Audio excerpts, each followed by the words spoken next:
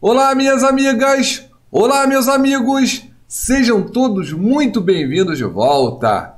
Eu sou o Dom, vamos para mais uma videoaula Swing 3, Day 3, abertura de mercado. Vamos dar uma olhada no S&P 500, que fez topo, fez fundo, voltou, fez topo mais baixo e se perde esse fundo, é mercado para baixo, o S&P 500 para baixo e para baixo com vontade, não tem conversa. O nosso mercado acompanha, por isso, olho vivo no S&P, olho no nosso mercado gráfico semanal, não podemos perder o fundo, olho no diário, mais uma vez aquilo que foi dito. Aconteceu, Dom, você é o máximo, nada disso. É leitura e operação tempo de tela, experiência de mercado. Não acredite em guru. Eu não sou guru. Estou aqui para dividir com você conhecimento e aquilo que se repete aqui, dia após dia e depois de um tempo, você já espera por isso e se prepara. Tenha sempre um plano. Dê uma olhada aqui, lateralizou para baixo, não podemos perder o fundo. 60 minutos. Aqui está ruim, verdade. Se perde aqui, fica péssimo. De ruim para péssimo, tem uma ponte que a gente não quer atravessar. Para você que lê e opera o nosso gráfico, já falo das marcações do mini índice, também do mini dólar. Vamos dar uma olhada nas nossas ações, ver se encontramos alguma operação swing trade, mas olha, hoje é dia de ficar atento ao movimento do mercado e sem ouvir história de gente que não coloca dinheiro, só coloca conversa. Vamos dar uma olhada no fechamento do mercado de ontem, porque nós tivemos ações ontem descendo mais de 12%, BID 11, Cash 3 descendo quase 9 e os IN 5 também em correção forte. Dom, tenho que comprar BID porque desceu 11, hoje vai ser uma compra espetacular. Para quem opera no day trade é possível pegar esse tipo de operação para o swing trade com o mercado para baixo e o papel para baixo, você pode entrar numa grande furada. Que bom que você está por aqui. Deixe logo o seu like no vídeo. Se você não é inscrito, se inscreva. Clique no sino, marque todas. Assim você não perde o nosso conteúdo. Atenção, esse conteúdo nunca é uma recomendação de compra ou de venda de qualquer ação ou índice no mercado financeiro. Vamos juntos? É a aula. Como foi o seu dia ontem na B3? Conseguiu colocar dinheiro no bolsito, mesmo com o mercado para baixo? Foi nas ações? No índice? Coloca aí nos comentários. Vamos começar o nosso vídeo de hoje com a Dona Oi, Oi BR3 na tela. Se vocês pedirem no fechamento eu boto a Oi BR4, mas é uma empresa só. Pessoal, nós temos um papel que está na zona de guerra mais uma vez e a gente tem fundo no papel e a gente tem mercado para baixo.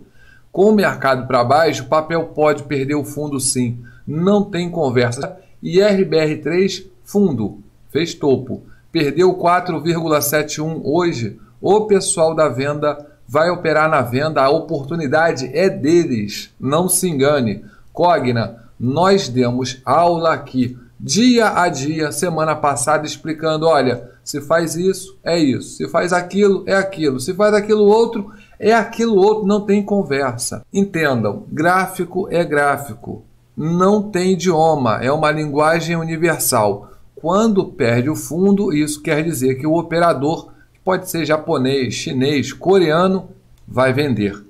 E aqui foi avisado que se o papel fizesse esse movimento e perdesse esse fundo, o pessoal ia vender. Pois bem, o papel está fazendo uma nova mínima, 2,73 é a nova mínima do papel. Dom, qual é o fundo de Cogna? Essa é uma decisão do mercado. Vai a 50 centavos? Vai a 20 centavos?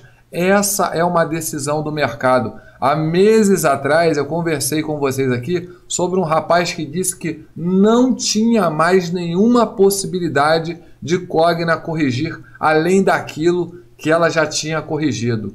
E olha, já se foi mais muita correção e muito mais correção pode vir pela frente com o mercado para baixo. Não tem conversa fiada. Papel perdeu o fundo, é para baixo ou você aprende isso com quem fala para você a verdade, ou vai ouvir conversa de que é promoção e o pessoal tá ouvindo conversa que é promoção aqui, olha, no semanal faz tempo, viu? Porque esse papel vem descendo e se você acredita, segura essa correção também.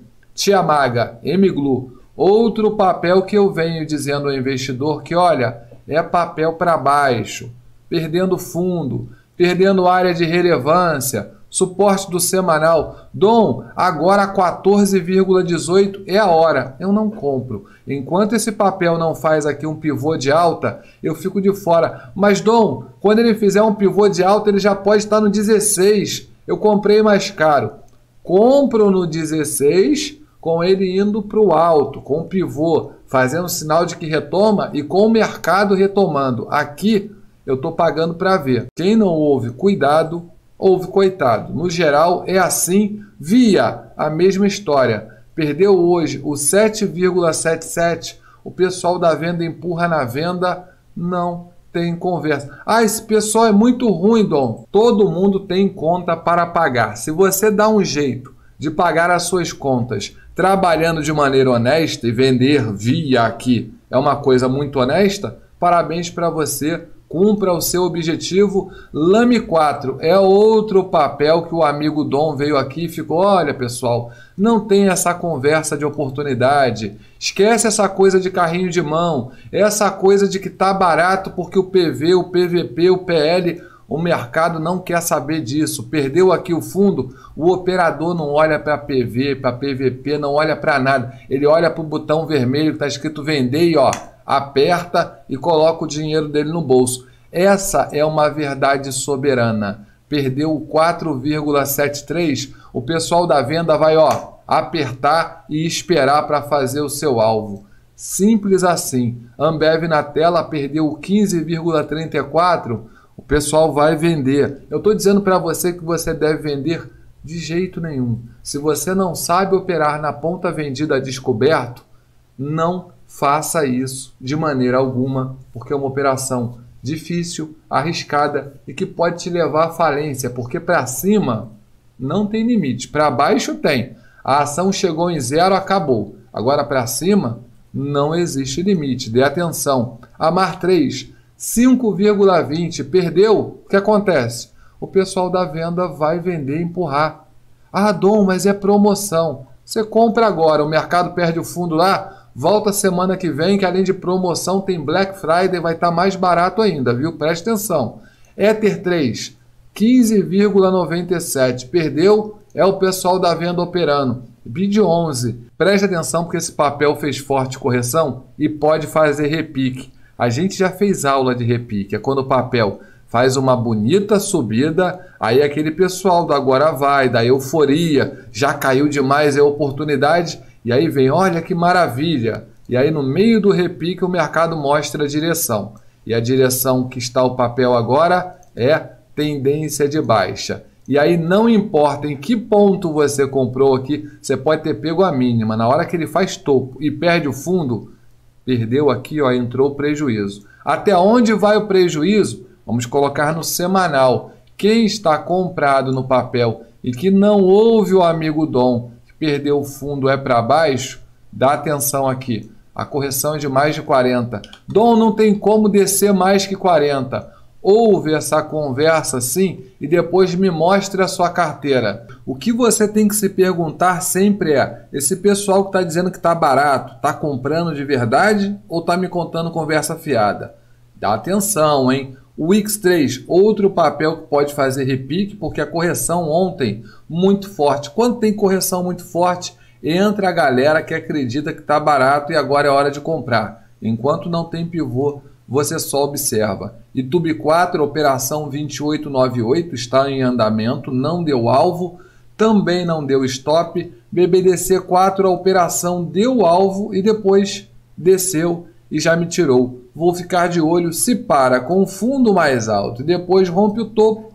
Eu volto a fazer operação no papel, leitura e operacional, controle emocional, gerenciamento, você vai bem. Dom, não entendo quando você diz que a pessoa vai apertar na venda e ganhar dinheiro no mercado. Como é que ela consegue ganhar dinheiro se a ação está indo para baixo, diminuindo de preço?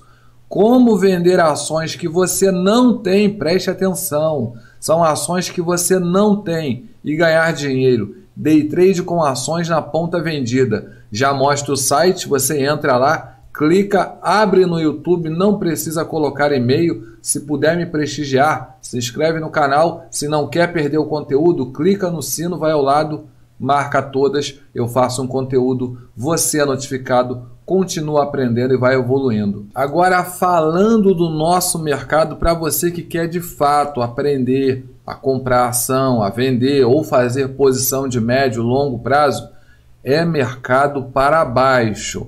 O mercado volta na média de 21 para perder e se perde o fundo piora. 60 minutos, o ponto mais importante. A gente tem um fundo e a gente tem um topo. Se para por aqui e rompe esse topo, Vamos fazer o desenho aqui. Fica lindo demais, fica lindo, maravilhoso. Fez esse desenho aqui, olha, é mercado retomando, rompendo essa LTB, tudo fica espetacular, certo? Agora, se desce e perde o fundo, aí a coisa fica muito feia. Você pode comprar, vender ou ficar de fora. São as três opções magnas do mercado. Ficar de fora, muitas vezes, é a melhor das três. Ter prudência e bom senso sempre cai bem. Então, aguarde o movimento do mercado. Se ele continua para baixo e perde o fundo, deixa. Agora, se ele começa a fazer retomada e rompe o topo, é a hora que você vai estudar aquelas ações que você quer colocar na carteira de longo prazo, que quer fazer um swing trade, quer fazer um position porque o mercado está dando um sinal de que pode fazer uma retomada. Aí sim é a hora de começar a estudar a ponta comprada. Faça as anotações do suporte aqui do nosso mini índice, também do mini dólar. Muito obrigado. Olha aqui o vídeo que você precisa assistir. Eu sou o Dom. Já se inscreveu no canal? Até as 18h21 com o fechamento de mercado, se Deus quiser.